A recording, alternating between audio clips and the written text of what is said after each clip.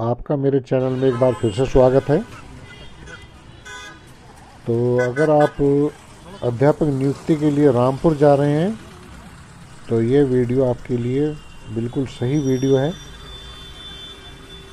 Actually होता क्या है, जब हम कहीं नई जगह जाते हैं तो हमारे सामने मुश्किल ये आती है कि हमें पता नहीं होता कि ऑफ़िस कहाँ पड़ेगा और हमें सही मायने में जाना कहाँ है। लोगों से पूछते रहते हैं और नई जगह पर जाकर इसमें बहुत टाइम ख़राब होता है।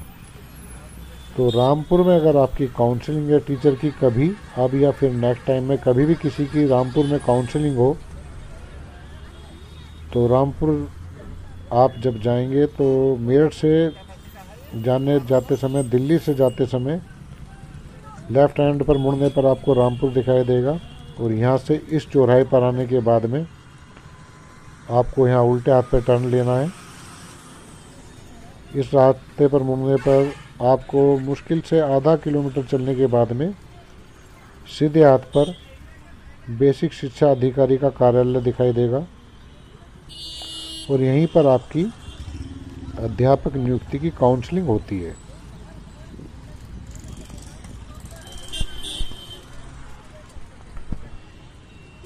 रामपुर नवाबों की नगरी कहलाती है।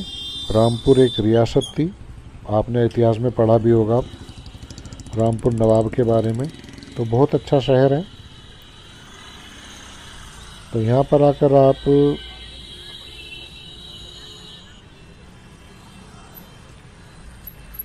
बेसिक शिक्षा अधिकारी के कार्यालय में जाएँगे और ये आपका बेसिक शिक्षा अधिकारी का कार्यालय आने वाला है राइट हैंड पे। मैं आपको थोड़ा स्लो करके दिखाता हूँ। ये। आपका बेसिक शिक्षा अधिकारी कार्यालय, लेकिन यहाँ से आपको कोई कट नहीं मिलेगा। गाड़ी आपको और अभी 200 मीटर आगे लेकर जानी होगी और वहाँ से आपको यू टर्न लेना होगा। चाहे तो आप चौराहे से भी यू टर्न ले सकते हैं, लेकिन ये बीच में ही आपको एक कट मिल जाएगा। इस कट से आप यू टर्न लेंगे। तो आपको चौराहे तक गाड़ी नहीं चला कर ले जानी पड़ेगी। यह कट आ गया। अब आप इससे यू टर्न लेंगे।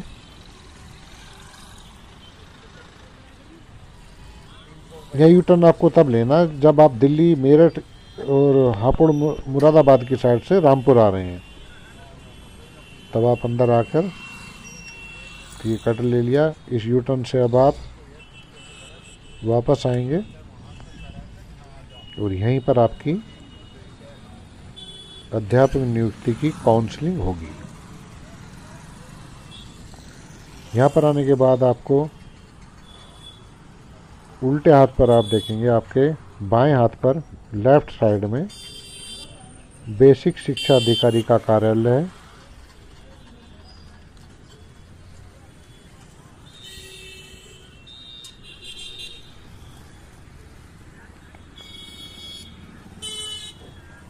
आज हम लोग भी यहाँ पर काउंसलिंग के लिए आए हुए हैं। तो ये कार्यालय है आपका बेसिक शिक्षा अधिकारी रामपुर का। और ये आप देख रहे हैं, ये इसकी पार्किंग कह लीजिए, यहाँ कोई शुल्क नहीं है पार्किंग का।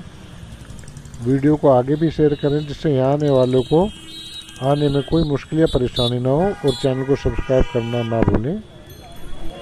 और फाइनली ये जगह है जहाँ अध्यापक नियुक्ति की काउंसलिंग होती है, और जैसा कि आप देख रहे हैं, हो भी रही है।